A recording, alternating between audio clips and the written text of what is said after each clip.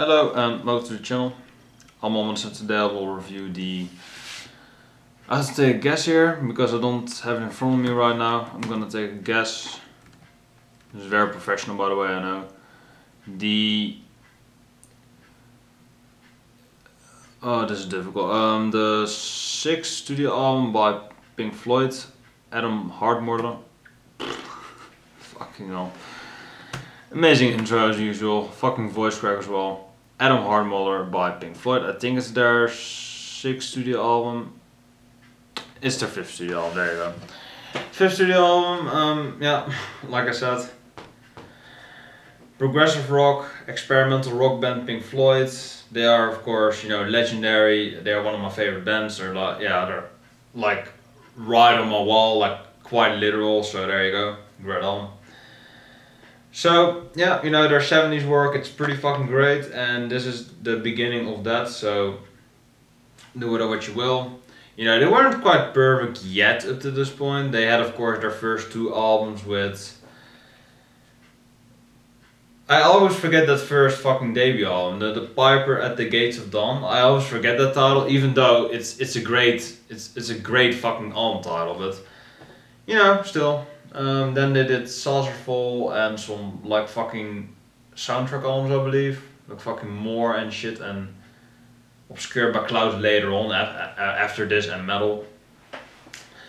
So yeah, the band had some obscure releases here and there, and they had Ummagumma of course before this. So you know it was a very experimental, very you know krautrock or just a very art artsy route up until this point. And this is more of a traditional progressive rock record, I would say. This is arguably really the first prog rock album by Pink Floyd because they, you know, they came into the 70s and um, I believe that the other album before this were labeled psychedelic and experimental. So you can make the, the argument that they did start here, but you know, if you think that they just started at the debut and that's called you know dead as prog rock, then you know that's fair too, I guess. But you know most people consider In the Court of the Crimson King the first prog album, which is '69.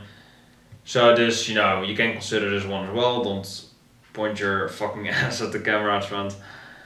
I don't hope you saw that, but you know, it is appropriate for the video. Trent has thought about this because there's a cow's ass on the cover, so this is appropriate. But this record is everything but ass. There are some ass moments, if you know what I mean, but you know, like this. But uh, you know, it's, it's not exactly you know bad. It's you know it's, pre- it's pretty great album. It's Pink Floyd, of course, so you can't go wrong. It's 70s Floyd. It's like pretty fucking great, but um, you know this is still the start of the decade, so you know they weren't quite there yet. And if I actually look at the ratings, it actually got a, a lot of low ratings. Rolling Stone gave it a one star. Damn, they really hated this album. All Music gave it three stars. Christgau gave it D, uh, D plus. Daily Telegraph gave it two stars. Music Hound gave it a two out of five. Damn, Classic Rock gave it three and a half. So people were definitely mixed on this album. Yeah, there, there's no there's not one person that gave this album a good rating. So everyone is kind of like on the fence with this album. I don't think it's good. You know, I have Pink Floyd bias, so of course I'm gonna give it a high rating. You know, you know. Um, we have the first song, which is uh, which is the title track, which is basically just you know a six-part suite. Father shout, breast milky, mothers for funky dung, and uh, or mind your throats please. And uh, re- remergence. So this is pretty just really uh, epic or epic a really long really lengthy opening track. It's the title track. Wordless vocals by john John Alldis uh, Choir. So John Alldis Choir is like the, the bloke that like eats and shit and you know has his breakfast. Or wait, wait, no, I'm confusing this track with the final track. Never mind. But uh, yeah, there you go. That's kind of it, honestly. This is a pretty epic track. I kind of let this speak uh, speak one for itself. It's literally half of the record. This this song alone. So do whatever what you will. This is a pretty grand song, a lot of like things going on there.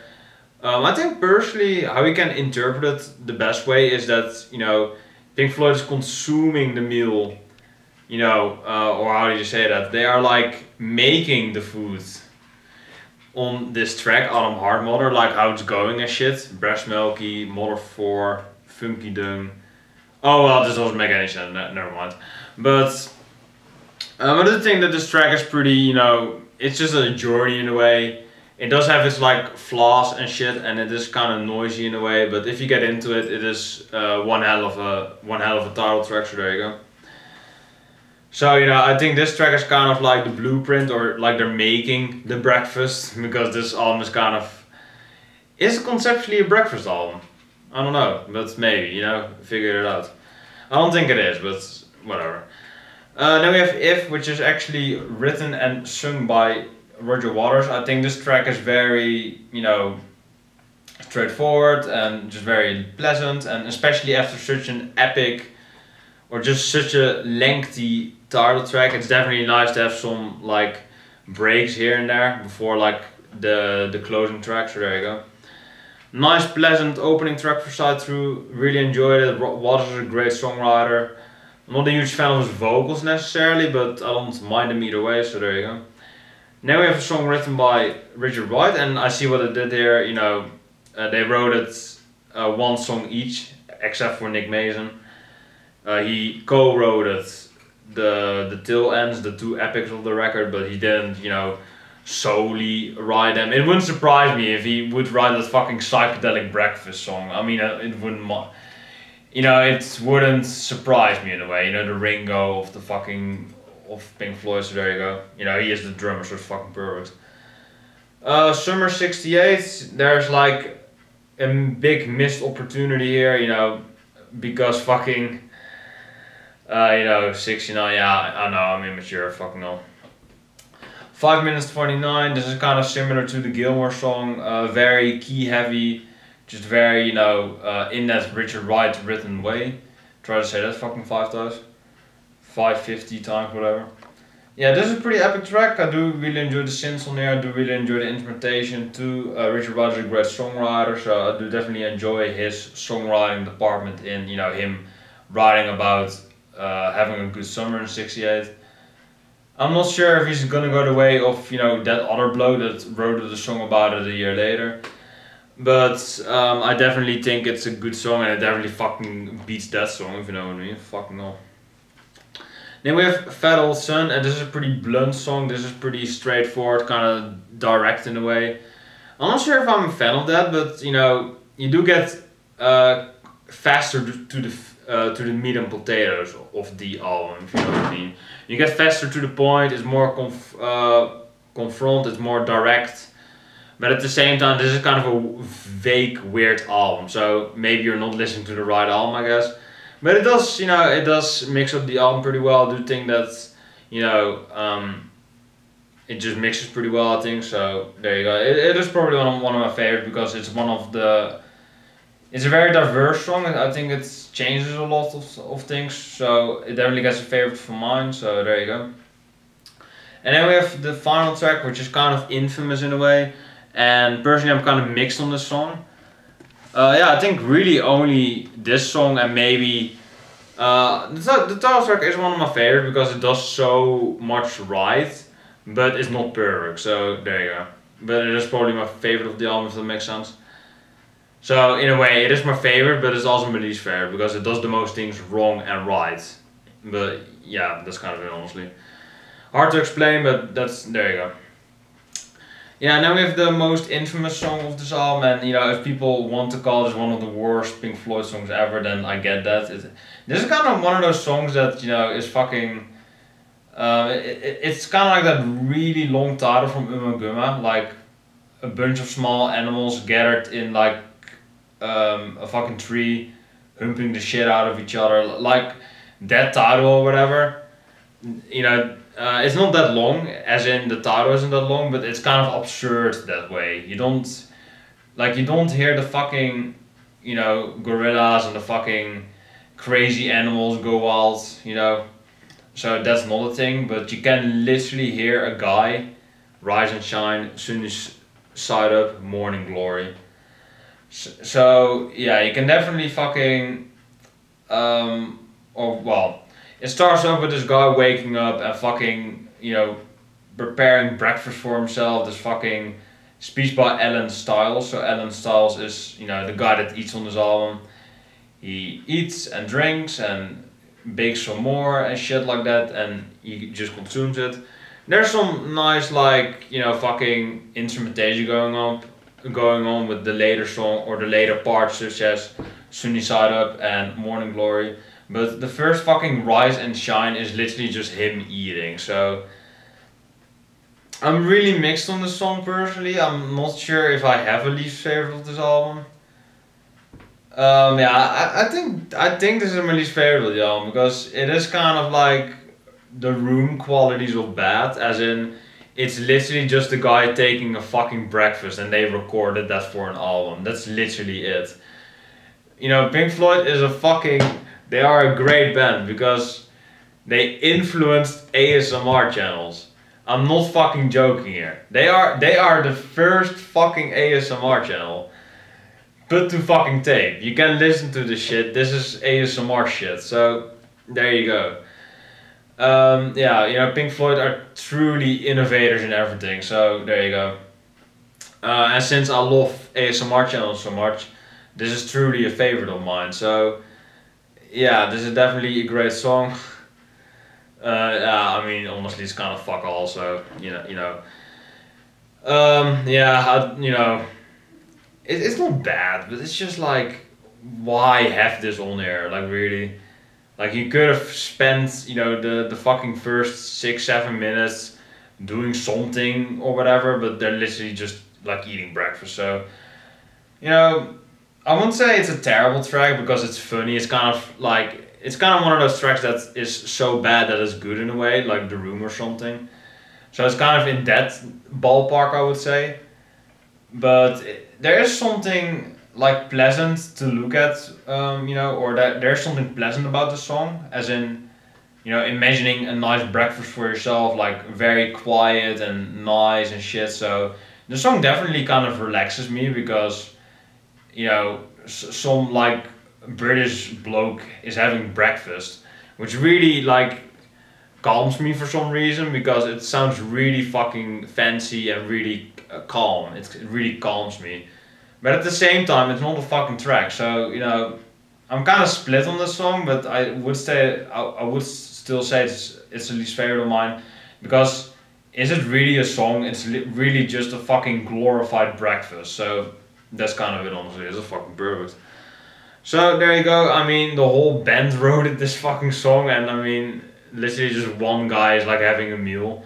So li- probably the fucking, you know, whenever they were uh, each other, whenever they were together, and they were like, "What is a good idea for a final track?" Oh yeah, let's just let this one narrator do the fucking um, you know, have have him do the breakfast, and they came all up with that idea in the same fucking moment. They came all up with that idea in the same moment, and then they were like, "Yeah, let's do that," and then they credited, you know, everyone was credited because everyone came up with that idea.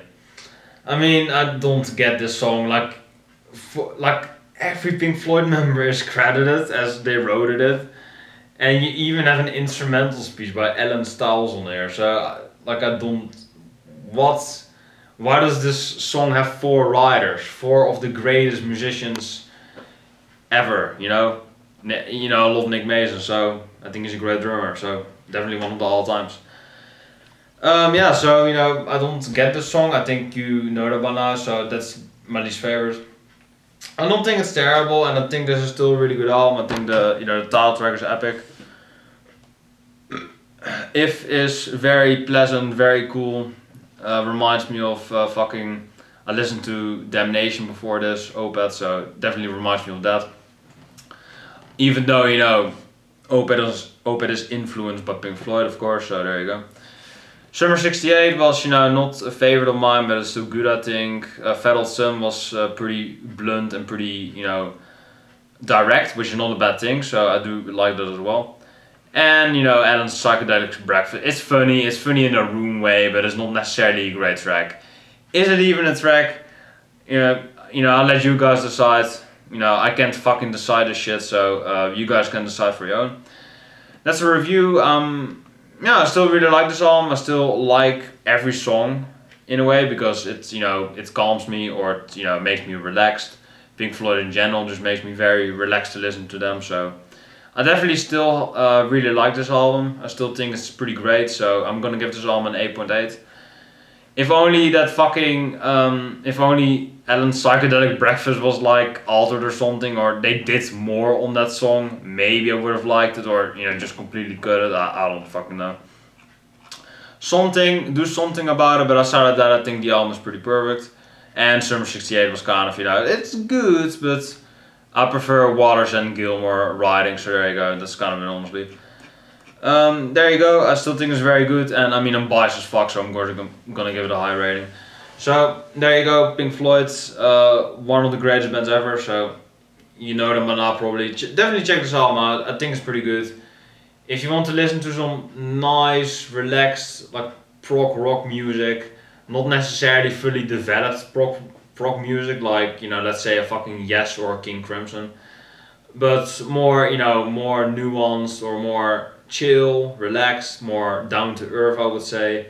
None of those bands are like the hard to get, you know, but they're a bit more complex, I would say. But that's not necessarily a bad thing because I prefer Pink Floyd over both of them because of their simplicity. So with it what you will. I love prog, but you know, if you can make prog music and it's catchy, that is some powerful material right there. So you know, again, not to say that those bands aren't catchy, but it's difficult. You know, it's a bit more complex. It's a bit more difficult. So you get me. You know. So there you go.